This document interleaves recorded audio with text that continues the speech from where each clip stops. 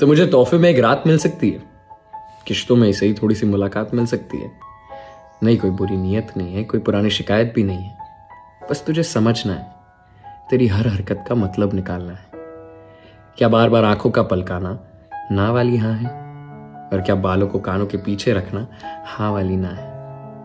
क्या काजल लगाना मेरे लिए नज़म लिखना है? तो क्या बिंदी लगाना तेरे लिए मेरे दबे हुए अरमानों का चीखना है?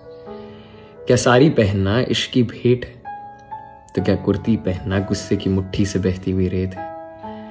क्या मेरी महक कैद करने के लिए अपनी भाई की शादी में मेहंदी लगवाई? हाथ तो पकड़ ही लूँगा। क्या इस उम्मीद में अपनी कलाइया सजवाई? कमरे तक इसलिए छोड़ने आई कि जो तू चाहती है उसकी पहल मैं करूँ। और धोए मुँह गीले बालों के साथ खिड़की से इसलिए अलविदा किया कि इस नाउमीदी की सजा मैं भरूं। इन सारे सवालों के लिए मुझे तोहफे में एक रात मिल सकती